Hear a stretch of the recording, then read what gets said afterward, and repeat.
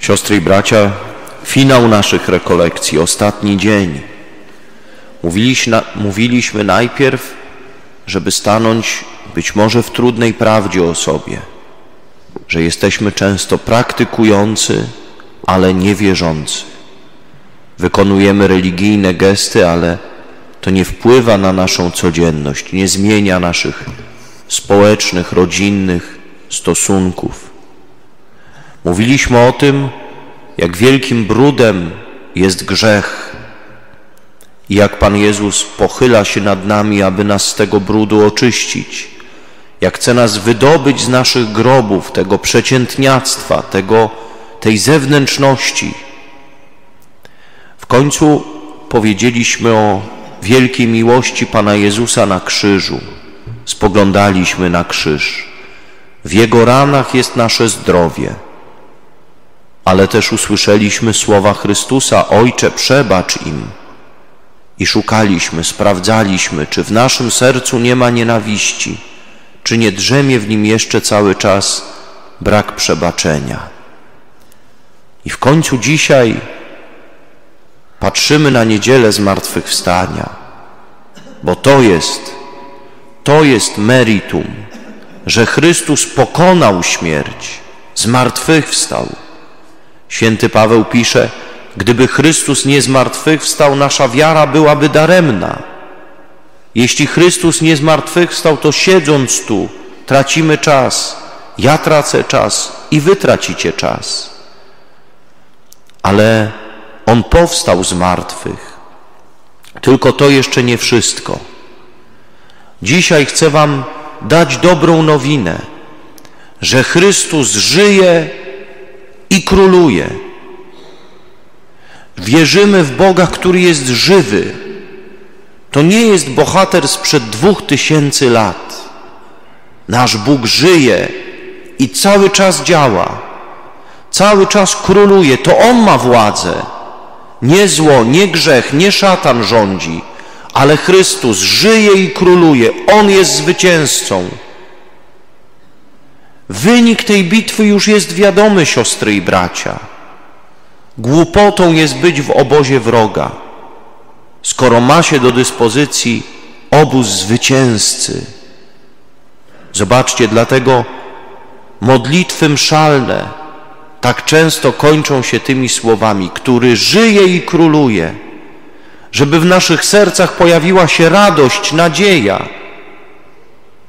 Ale siostry i bracia, gdzie Chrystus żyje i króluje już tu na ziemi? Ma królować w swoim kościele. Gdyby nie nasz grzech, ludzka słabość, to Kościół by jaśniał w tym świecie jako królestwo Chrystusa, ale niestety my ludzie mamy taką tendencję, że wszystko lubimy spaprać. Nawet to Panu Bogu nie przeszkadza. Mimo naszego grzechu, słabości, całego zamętu, którego jesteśmy świadkami, szczególnie w Europie, Pan Jezus nie odwraca się, nie rezygnuje ze swojego Kościoła, ale cały czas żyje i króluje. Moi drodzy, szatan wie, że jak zniszczy Kościół, to już wtedy będzie mógł hulać. Ale znowu, czy Pan Jezus nie powiedział, do świętego Piotra: Ty jesteś skała i bramy piekielne nie przemogą tej skały. Na Tobie zbuduje Kościół mój, a piekło go nie przemoże. Jesteśmy w tym Kościele, jaki to jest dar wielki. W tym Kościele takim poranionym. Kościół to nie jest hotel dla świętych, ale szpital dla grzeszników. Moi drodzy, jak Pan Jezus działa w Kościele? Na dwa takie podstawowe sposoby. Oczywiście nie ogranicza się do nich. Pan Jezus działa w swoim słowie i w sakramentach świętych. Żyje i króluje w Kościele przez słowo, przez sakramenty. Słowo Boże, Ewangelia. Nie wiesz, co robić, nie wiesz, jak się zachować, czujesz się zagubiony, bez nadziei Otwieraj Pismo Święte, otwieraj Ewangelię. Tam są słowa nadziei, tam są słowa niosące otuchę. Tam jest najlepsza porada. Jaki to jest absurd, że są te telewizje z tymi wróżkami. O matko, ludzie do wróżek chodzą, przyszłość, tam tacy, inni, a nie otwierają Biblii. Tu mamy słowa Boże. I lubię tak żartować. Czasem osoby się skarżą, a to małe literki, nie mogę już czytać. No, ale jak szóstkę w totolotku chce wypatrzyć, to lupę znajdzie. No, tak jest. Już to mówiłem wam w sierpniu, ale to jest, to właśnie o to chodzi. Co się zmieniło od tego sierpnia też? Czy ja otwieram Słowo Boże, czy nadal stoi na półce, kurzy się? A to są słowa dające życie. To są słowa. Nie znam nikogo, kogo życie na lepsze zmieniłaby telewizja. Ale znam wielu ludzi, których życie zmieniła Biblia. Ewangelia to jest moc. Chrystus żywy. I mieć świadomość, jak to czytam, że to nie są tylko karty z przeszłości, że On żyje i działa dzisiaj, żyje i króluje. Nie wierzymy w Boga sprzed dwóch tysięcy lat. Wierzymy w Boga żywego, który może mi pomóc, który jest przy mnie. I działa też w sakramentach świętych, jakie to wspaniałe dary. Moi drodzy, siedem cudownych darów Boga dla człowieka, żeby mnie podnieść, żeby mnie ponieść do nieba. Sakrament Chrztu Świętego, który przyjęliśmy. Zobaczcie, czasem takie no dość ograniczone mamy spojrzenie. A to szatana. Proszę księdza, ja bym chciał ochrzcić dziecko. A czemu? No bo żeby diabełka wypędzić. Siostry i bracia, to jest o wiele więcej. My dzięki sakramentowi Chrztu Świętego staliśmy się dziećmi Bożymi. Jesteś córką Boga. Jesteś synem Bożym. Jak Pan Bóg nam każe się, jak Pan Jezus się nam każe zwracać do Ojca? Abba, tato. Chrystus mówi Abba, to jest słowo tato, tatusiu. Czy tak rozmawiasz z Ojcem? To jest Twój Ojciec. I możesz do Niego mówić tato. Jak jest Ci źle, skocz w Jego ramiona, przytul się do Niego. Ukryj się.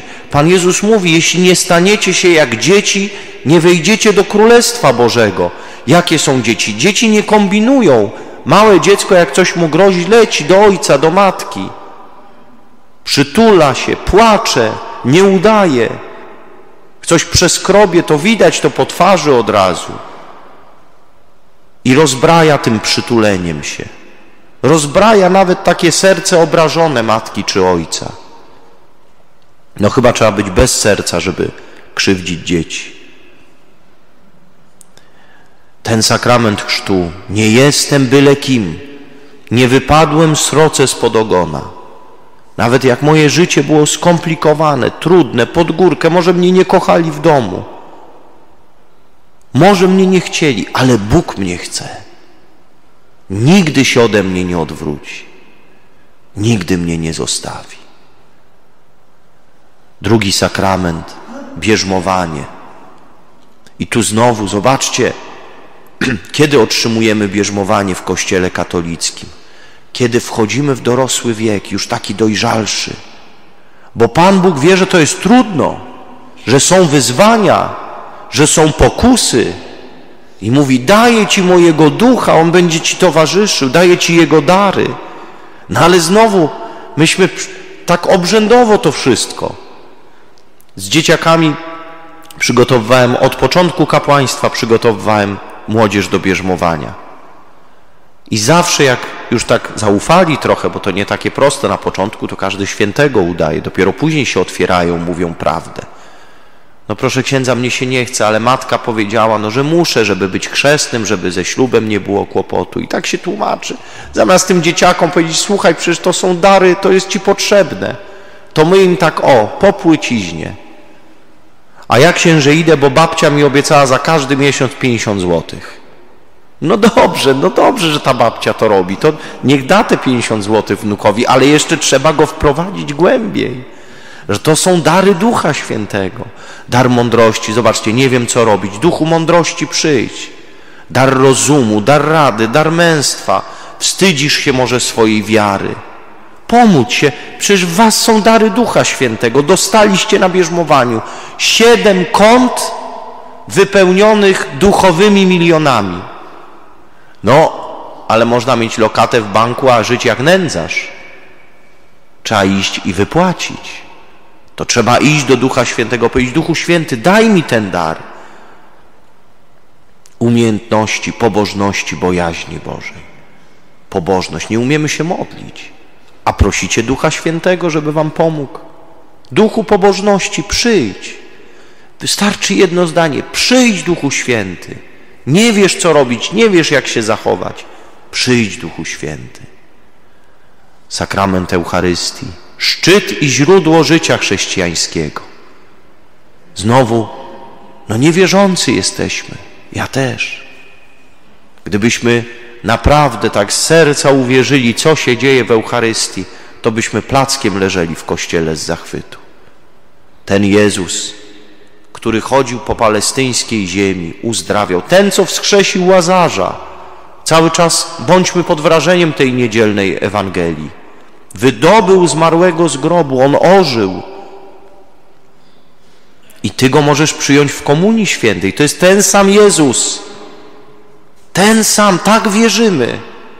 Nie taki sam, bo pod postacią chleba zmartwychwstały, nieograniczony czasem, przestrzenią, bo to już uwielbiony Jezus, ale żyje, żyje w Eucharystii i ja go mogę przyjąć. To jest niesamowite. Jan Paweł II lubił nazywać Eucharystię sakramentem miłości, bo właśnie na każdej mszy świętej słyszymy: To jest moje ciało za was wydane, to jest moja krew za was przelana.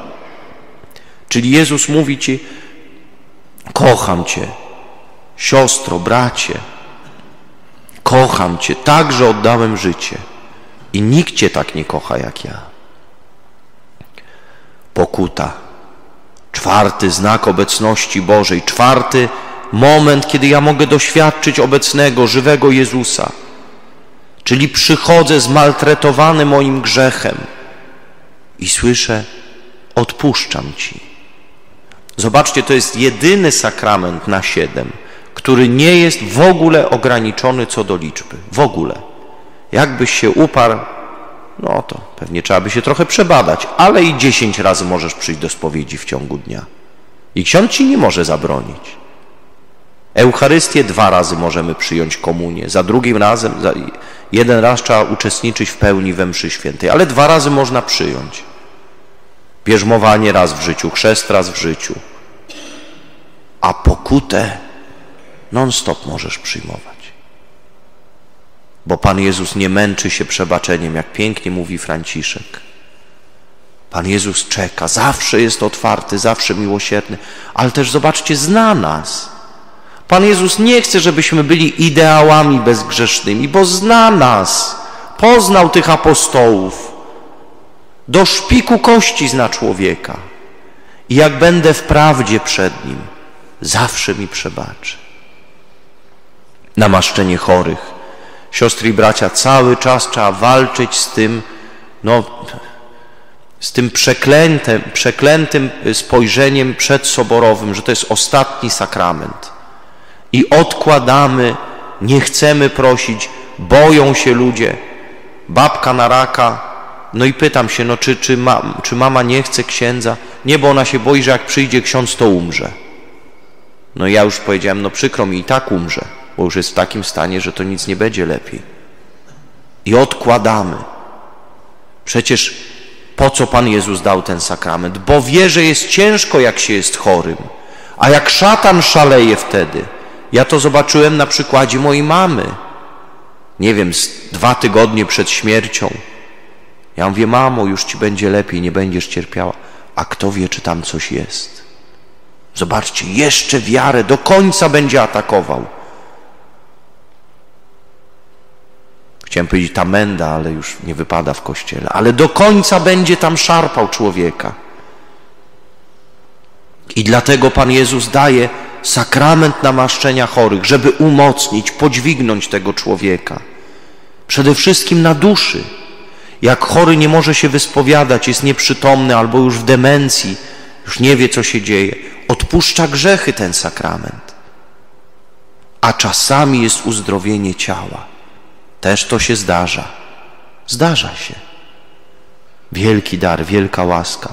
Ale proście dla swoich chorych, sami jak idziecie na operację, jak czujecie, że jakaś choroba was zmaltretowała, że brakuje wam sił, taki się, poczucie takiej beznadziei się y, wciska. Poproście kapłana o namaszczenie chorych. To jest bardzo ważne, to jest dla nas sakrament. I ostatnie dwa, małżeństwo. Słuchajcie, no i znowu, no lokata w banku i za Chiny ludowe człowiek nie chce skorzystać. Stanęliście przed ołtarzem. Wy powiedzieliście, ja biorę jego, nie, wie, nie wiem jeszcze, że on utyje, że zęby mu powypadają, że brzuszek, mięsień piwny się po, pojawi. Ja biorę ją, nie wiedziałem, jak ona będzie narzekać, ciągle mi jęczyć nad uchem, że na ryby trzeba jechać co drugi dzień, żeby to wytrzymać wszystko. Ale biorę do końca życia. A Pan Jezus wtedy powiedział, a ja wam daję gwarancję dożywotnią. Gwarancję dożywotnią. No, tylko słuchajcie, macie pralki w domu? Tak? No są, dobrze. To słuchajcie, no pralka też miała gwarancję, albo ma jeszcze, może nówka kupiona niedawno. No ale słuchajcie, to nie jest tak, że przedstawiciel firmy Bosch puka od domu do domu i przepraszam, z praleczką wszystko w porządku, może coś naprawić. Jak się zniszczy, to trzeba zadzwonić. Trzeba pojechać albo zadzwonić, żeby wzięli, naprawili. Tak samo jest sakramentem małżeństwa.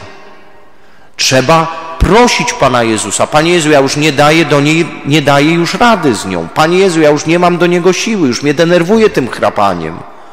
Daj mi moc. I ten sakrament małżeństwa jest właśnie pomocą Bożą. I to nie jest raz. To jest na całe życie te łaski. I trzeba o nie wołać, prosić, odnawiać je w sobie. I w końcu ostatni sakrament kapłaństwo. Siostry i bracia, w Polsce wielu z nas jesteśmy antyklerykałami. To już ten antyklerykalizm w Polsce jest niesamowity. Mamy nieufność do księży, nie przepadamy za księżmi. I to jest zjawisko takie ogólne. Jakoś to tak, nie wiem, czy komunizm to zasiał, czy co. Bardzo łatwo jest nam księdza hapnąć. Ale słuchajcie, bez kapłaństwa tych sakramentów nie ma. Nie ma sakramentów bez kapłaństwa, a powołanie jest jak na lekarstwo. Macie trzech księży w parafii. Słuchajcie, to jest no wie, bardzo dużo. W Poznaniu mój kolega pracuje, parafia pięć i pół tysiąca ludzi, miejska, sam jeden jest. Sam jeden. Tu jest jeszcze dobrze, ale słuchajcie, będzie coraz gorzej.